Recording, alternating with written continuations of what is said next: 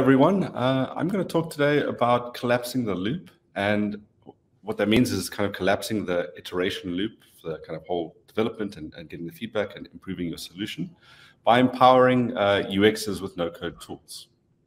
So the, the project that I am talking about was funded by PEPFAR.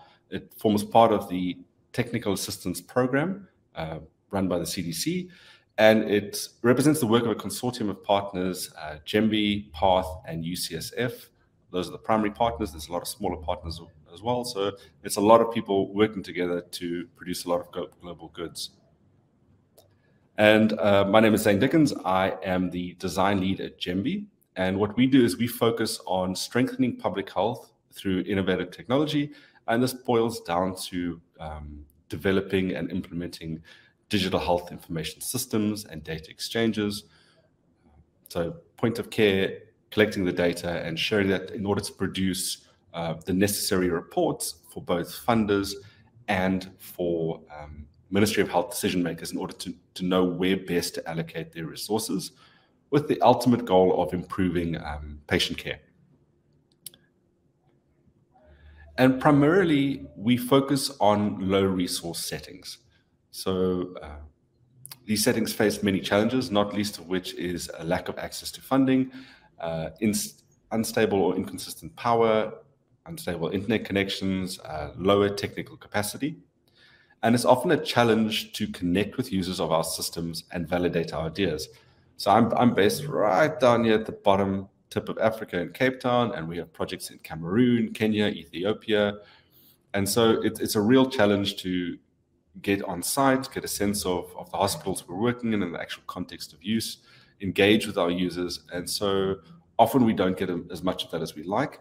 Uh, now, remote testing is a, poss is a possibility, but sometimes it's really difficult to validate your ideas using drawings or kind of even high fidelity prototypes. And so what you actually need is a coded MVP to get a sense of whether our users will accept that solution in the context of use. But the problem with a kind of coded MVP or full development iteration loop is they can take so long that the, the kind of looping doesn't often happen because of budgetary constraints. So you tend to focus on designing twice, building once, and then, then piloting the solution. And uh, just to clarify, um, although the graphic shows Africa, the projects we work on is global as well and targets countries as well like Vietnam and uh, Haiti. So as, as UXs, uh, it can be quite frustrating because we're often constrained by dev time. We're reliant on developers to make our drawings real, to make our prototypes real. And it's kind of a universal problem that our designs uh, exist within the constraints of a budget. In my experience, there's usually more budget for development than for design. Um, that's fine. It tends to take more developers to screw in a light bulb, but that's okay. But over time, as a designer, you, you get you start to learn to scale your solutions to fit um, what is likely to be built.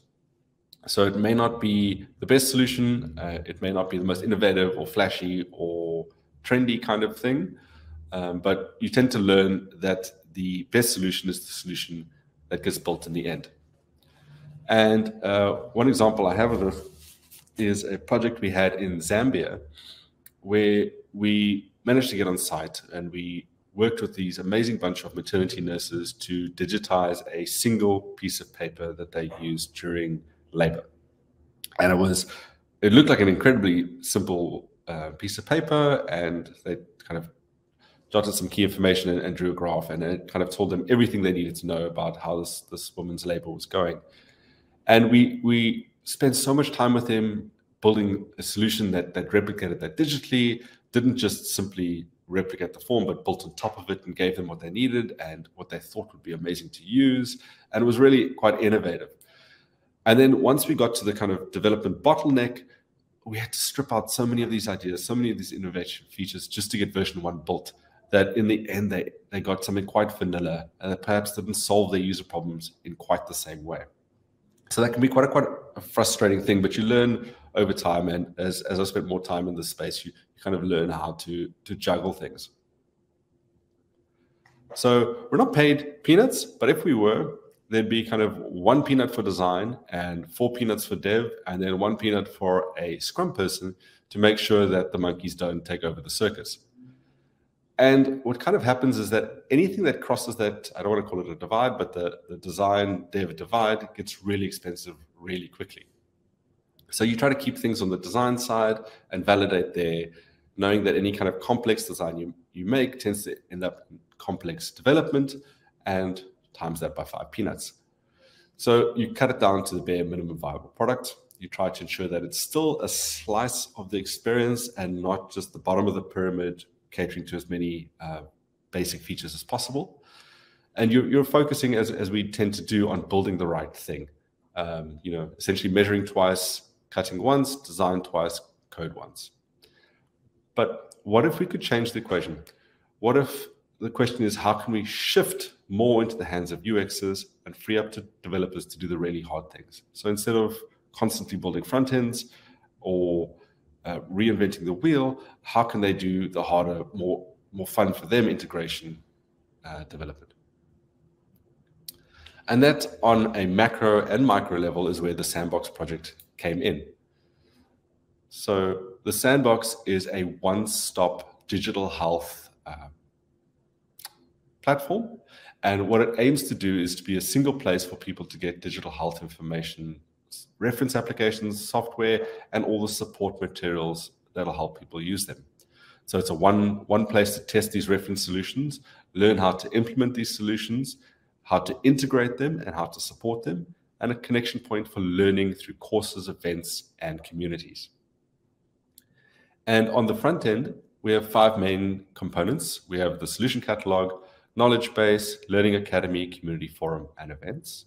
And the solution catalog is what it sounds like. It's a catalog of reference solutions, reference applications with a product manifest. Now, the product manifest is essentially everything that a solution implementer could need to understand, learn, instantiate, and implement the solution in their own country. So it, it's everything. So instead of them having to chase around the internet to try and find all these bits of information, we consolidate it into one place. And so from that, that catalog page, they can get all this information. They can access a reference uh, instance, test it out as different users in different roles. Maybe they, they log in as admin or they log in as the doctor, but they can they can try it from multiple angles. And those get reset every 24 hours. And then within our knowledge base, we have products that are more focused towards things like policy or reference, um, sorry, requirements, templates, or things like a project management toolkit, uh, which helps support the actual implementation of one of these solutions from a project management level. So some countries would often have the technical skills or some of the technical skills, but the project management would be a weak point. And so that's why that's been developed to support that aspect of implementing and rolling out within a country. And then the Learning Academy has a selection of courses to help leaders learn more about informatics or in the instance of that, that project management toolkit, we have a course there on that as well. So people can upskill on how to use that course, how to project manage their implementation. And then uh, community forums, we have um, the Sandbox tries to follow a hub and spoke model. So instead of replicating everything outside and kind of copying everyone's information and, and, consolidating it, we link out to existing communities that have a lot of the experience, have the depth of knowledge, to support people in, in implementing their software. So we link out to things like OpenHIE or OpenMRS uh, to, to give solution implementers access to people who know how to solve the, the difficult problems that they're likely to face. And then uh, with events, we try to connect uh, mentees and mentors or uh, experienced developers with inexperienced developers to help them with boot camps and hackathons and overall to increase uh, technical capacity within a country. It's one of the major aims of the project as well. So who is this for? Uh, who did we target this at? Uh, in the middle, there's decision makers. So they, they're the core user that'll come to the site to get a sense of what's available, um, what it entails, and how it solves the particular problems they may be facing, whether it's uh, patient identification and deduplication, or uh, centralization of data. And so they, they'll be able to look at the available solutions, uh, get a sense of what's out there, create a shortlist throw that over to their solution implementers who could go through it on a technical level and see what is the most feasible solution for them to take on. Um, and then all of this that they're using to make these decisions and to, to make a selection comes from our expert contributors. And these are people with decades worth of experience in public health and multiple implementations. And they're, what we have to do is kind of distill all that expertise and translate it into uh, kind of from expert to lay level so that these people can make the decisions and, and choose the solution that best fits their, their needs and their context. And essentially, the overall point of the sandbox in this program is to facilitate the reuse of existing solutions, to help countries stop reinventing the wheel, but rather focus on core solutions that meet the PEPFAR requirements. So, what a typical scenario, what used to happen very often and has happened over the years, is that all countries need to produce the same reports. Uh, there's a standard set of reports and standard indicators that allow uh, PEPFAR and the Ministry of Health officials to kind of get a sense of what's happening. And in order to produce these reports, a lot of countries reverse engineered the kind of technical solution that was required to make these reports and would um, spend a lot of time analysis time sorry a lot of time doing analysis design development and implementation either making a complete custom solution to produce the same reports or uh, building a customized version of, of a existing open source solution such as OpenMRS or Bahmni. And what resulted was years and years of work to produce these required reports. And when you have years and years of work building something complex in uh, settings like this with low resources, it can often lead to problems and uh, failure in delivery or just uh, not producing those reports as easily as possible. And so the sandbox support, supported route, uh, which supports decision making implementation, aims to kind of reduce this to research and implementation, allowing people to, or decision makers in ministry officials, to choose the right solution, have supported implementation, and get to these reports. Uh, so reducing years of work to months of work to produce the required reports, ideally. And so the, the idea is to leverage a core system, use the same standards to integrate the system, uh, produce those required reports, and then just reduce all the effort, time, and cost to get there. So in, in order to do this, to help these, these three kinds of people uh, with expert contributors, we had to make collaboration and approval easier. So it, everything that they produce has to go through quite a stringent approval process to make sure that it's it's up to the right standards. There's no mistakes because all of this kind of feeds into healthcare, as you know, and uh, mistakes there have massive repercussions later on. So we have a very stringent approval process. And that expertise that needs to get translated uh, and simplified to allow decision makers to understand a complex landscape and to support their decisions. This is the kind of most difficult area that we're facing right now, and I'll, I'll get back to that a bit more later as well. And then with solution implementers, as I said, we have those manifests that we consolidate into step-by-step guides and implementation guides and installation scripts and everything they need to kind of get hit the ground running and go. And then also what they need to support the solution once it's on the ground. Okay. And this is a, a kind of simple high-level view, high-level map of the sandbox. So we have these shared work areas where everyone can collaborate. Uh, we've got teams across the world. Uh, often used to joke that I and grumble that I had to join a meeting at five in the afternoon or six in the afternoon until I realized that our colleagues in Seattle were joining morning meetings at six or seven in the morning. So we, we have kind of very distributed teams. And so we need a, a shared space to collaborate and work asynchronously as well. And then all this work produces products that need to go through an approval process uh, where each kind of uh, partner, so Jembi, UCSF or PATH get alerted that something is now ready for partner review. The specific person gets alerted, gets an email, and they come in their review and it goes through this, this kind of tracking pipeline. Once it's ready, it goes into our content management space where it gets prepped for public release.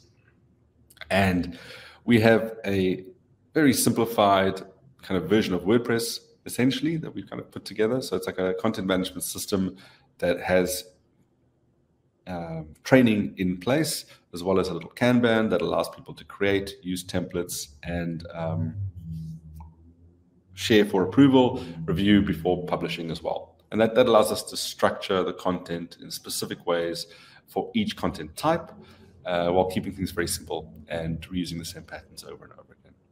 And then this filters into the website so that as soon as they're done, they publish, it goes to the website. The website has forms and that those forms for gathering technical issues, which goes straight into my development backlog. Uh, requested solutions. So sometimes a country will know of a solution that isn't listed and they'll request it, or a solution developer who want to share theirs. And so we have that product manifest form publicly available for people to fill in. And it's quite comprehensive, and they get a sense of just how much uh, is required for the solution and how much we need before we'll just put up a demo. And then as well, we have a routing help desk. So each product page has a link to this and it allows any products or any issues, um, sorry, any issues with the product or feedback to get routed to the specific person who's responsible for that product. Because we have a very, very, very small team, it's mainly just me and, and a few other people, we can't take on the supporting of each individual product or solution. So we have to route it to the right people. All of this all of the stuff I showed you there was built with three no-code tools. Um, the main backbone uh, was Notion, which converts our content into, sorry, we use for the collaboration spaces, uh, the CMS, which then gets converted by Super in the middle here to a HTML uh, website, which is very fast and very performant. It allows us to add theming as well, as well as inject some JavaScript to do some enhanced things on the front end. And then all our forms and integration with Notion are handled by Tally, which is an amazing little startup. I think there's two people that do that, and they've created such an amazing tool that uses a lot of the same design language as Notion. So once you know Notion, Tally is really easy to use. And it's it's those three things that we've used to build our entire solution. And we've done that uh, with one designer and a handful of non-technical users. We've built membership, collaboration, dissemination, and support. And we've done that by leveraging the development resources of, of other companies, namely these three tools. So they they're the ones that update their products and release things that we can then use to enhance our own solution. And for instance, uh, we ran into a navigational issue. We got a bunch of feedback from our users that certain ways of navigating the internal spaces were difficult, and it particularly had to do with the tree menu. And then very recently, Notion's released an update in their 2.18 release, which gave access to something called team spaces. And in a nutshell, that allows us to structure the navigation in a very simple way uh, with permissions in a much more granular way and allow our users to find what they want in a much easier way. So uh, was quite fortuitous, but what it means is that the tools we're using are improving their products because they need to. And on that basis, we're able to improve our solution based on their own releases. Another one that Tally did is Tally's recently released uh, customization, visual customization of their forms. And that allowed us to um, use the branding all the way throughout all these forms so that it feels more seamless with the rest of the site. So we used Notion um, to create these collaboration spaces, and we leverage their authentication. Um, so you link from the, the website to an internal page, and if you're not authenticated, it kicks you out and asks you to log in. And if you log in and you've got a Notion account, but that account is not connected to um, the sandbox, um, then you can't access it. So it kind of creates a private space for us. And then within there, we use Notion's drag and drop block model to create content templates. So we arrange all the standard blocks in uh, templates that allow us to structure what we have, um, consolidate data into master databases, which we can show and filter in different spaces. And we, we use both of those to create our project workspaces. And these project workspaces allow the teams to work in a focused way on their own work and their own projects, or countries specifically. There's an in-country workspace over there, which focuses the views specifically for, say, Rwanda or Ethiopia or Vietnam. And they will see stuff relevant to their project only. But all of their meetings, all of their action items filter up into this page. And so the CDC and the funders have a high level view of what's happening very transparently and how things are moving forward. But also, we have um, filters that allow an individual coming to this section to filter these meeting notes by uh, meetings that they're attending or action items that they have to do. So on the right there, you see it's it's filtered for me to show my incomplete action items. So in this way, uh, we've increased a lot more transparency. We've facilitated a lot more collaboration. Uh, we've ensured that a lot of our task items that people come up with in meetings, because people often come up with lots of things that they want to do, but you kind of lose track of them. We've consolidated them, and that allows people to uh, get a sense of what they're committed to, what they still have to do uh, to keep things ticking along nicely. And then, so within each of those workspaces, they have the product, their own product trackers. Uh, I can't show too much of the internal workspaces because these are kind of private spaces and there's a lot of stuff that's still in progress. But once things get approved, they go into this, this publishing space. And this publishing space, you can see from the colors, um, maps to those sections that we had on the front end as well. So there's the knowledge base, community forums, learning academy, events, and solution catalog. And each one of those spaces has a, a, flow like this, where we've got kind of instructions on how to use it, which is collapsible, uh, and a little Kanban board where they can create new articles, for instance, and they, those will use uh, a default template, which will structure their content and give them kind of questions and, and things to fill in the blanks so that they, they meet all the requirements we have there. And then, as I said, approval is really important for everything we do. Everything needs to get checked and approved. And so once they've built their page out, they've added all the content, they can move it into reviewing, uh, assign that to someone, that person will get a notification. Um, they'll come in, they'll do the review, they'll move it to approved. Once it's approved, the person can drag it into the, the published knowledge base section over there. And it's really simple. Uh, I've delivered a training in July to 40 people across, across the world, and the, the, nice thing about Notion is you can also see people on the page in real time, so you're able to collaborate and get a sense of what people are working on and, and what they, they're using and how they're using it. So that, that was a great learning experience as well. And it's also, we've reached this point now where we've kind of got the base level uh, system in place. And so now I'm reaching out to individual key users and finding out where they're struggling and what they have problems with. And I'm able to iterate much more quickly in a much more focused way. Um, as I mentioned with the team spaces, we've solved uh, certain navigational issues for a lot of users. And on this page, we've going to make a couple changes to prevent people from accidentally nesting pages. And this is a view of the, the front page website. I showed you this is what it looks like inside Notion. In on this page, you can do kind of line by line changes, and it, it's a kind of a WYSIWYG uh, what what you see is what you get, and you can edit the pages like that as well. And so it's really really kind of handy, and it's a lot easier to use than um, WordPress, and it's a lot more integrated into the flows that we have already. So once people learn how to do uh, workspaces, they, they're kind of a lot more familiar with the publishing space and, and how the way things work. All right. So we made a lot of mistakes and we learned a lot of things. And I also want to highlight that it's learned from, I want to say learned from our mistakes, but it's a lot of my mistakes. And this is one of the major things that uh, working on a very small team is, is that a lot can end up resting on one person's shoulders. And that can be uh, quite a problem uh, because no code empowers you to do a lot of things, but you end up with a lot of knowledge in one person's head or one person thinking about solving problems themselves without being on a, on a bigger team. So usually when you have uh, a developmental project or development project, you have a whole dev team and you all sit together and you work on the solutions together and there's cross-pollination, cross-functional ideas that happen there and idea gets tested from multiple angles. But if you've got a very small team and one person who's empowered to do a whole bunch of things, you, you can run into problems there. Uh, another thing, you can't fully control the experience. So the, the one problem we have is um, with sign up or logging in. So it, it's a, a, common issue we, we have is that we'll invite someone to the, the workspace. So we'll send them a, an email invite and that'll get handled perfectly and they'll get there and they'll get to the login page and they will do what they always do when they see continue with Google and they'll click continue with Google and they'll end up creating an account that wasn't invited.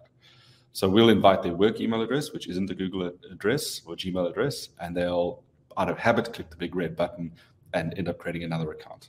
So we that that that kind of thing is probably the biggest uh, issue we have. But essentially, you can't control the experience at a very fine-tuned level. So that, that is a bit of a trade-off. Another thing that happens, which I I realized uh, quite recently when I, I was speaking with a colleague, because we want to build instead of those workspaces, we want to build hack spaces to support hackathons. Uh, and I was working towards a deadline and I was trying to get requirements from everyone so that I knew what I needed to build. And the colleague kind of stopped me and said, listen, we need to ask, are we asking the right questions? Do we know what we should be building? Um, do what do people actually need? Do they even need a hack space? Do they need help before this? Do they need a completely kind of concierge approach where they get helped from the beginning to plan and do all of that? And in the back of my head, I was thinking, yeah, yeah, that's really, really nice, but what do I need to build?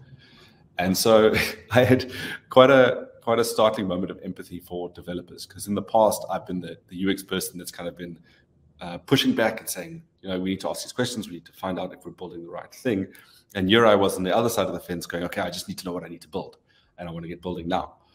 Um, so that that was quite quite a funny experience for me. But essentially, you can fall into the trap of wanting to build first and then ask questions later and and that's just something to to remember that you can slide towards the more system centric uh, mindset accidentally. The other side of things is um, documenting the sandbox way. So the way we did it, uh, like Notion has an amazing amount of help docs, but it's overwhelming. So what I've had to do is essentially cherry pick what what is relevant to our users uh, recontextualize it for the sandbox, how we do things, like the sandbox appropriate way. And that, that can be a lot of work. Um, but it, it kind of is what it is.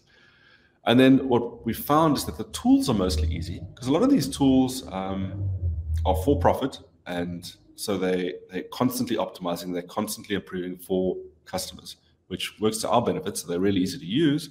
But what we found is content is hard.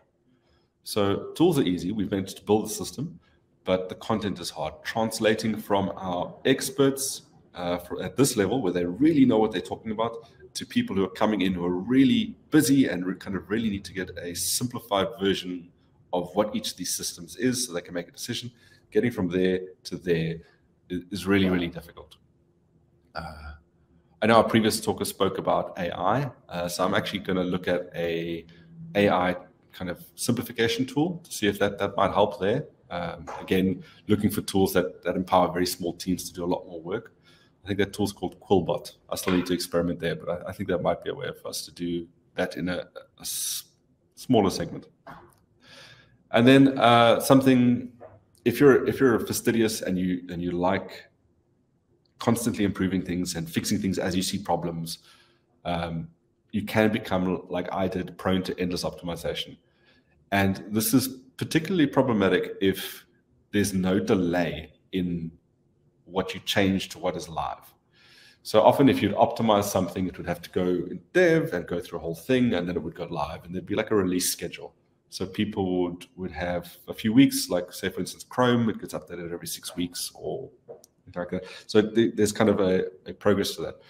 But if if you're seeing things that could be better and you're just changing it all the time, what happens is your users can, as they log in infrequently, kind of get a bit surprised because things aren't the way they expect them to be.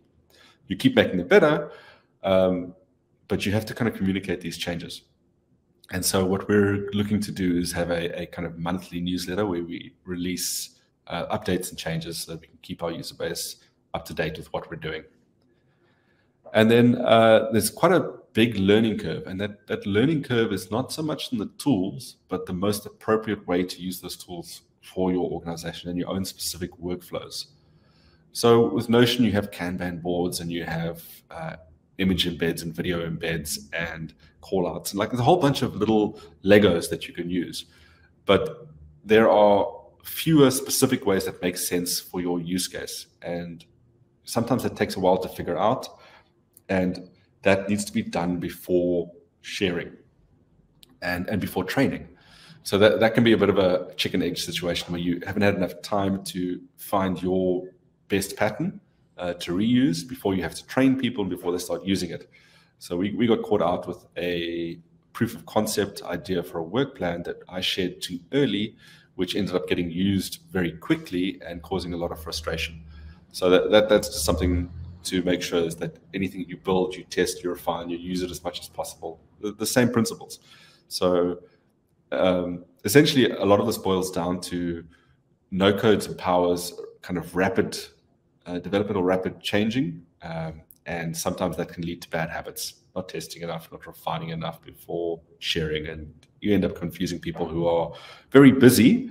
Um, they're very smart, uh, educated people, but they're very busy. So they don't really have time to fall in love with your system and work out all the quirks and stuff. They just kind of need to jump in, do things, and move on.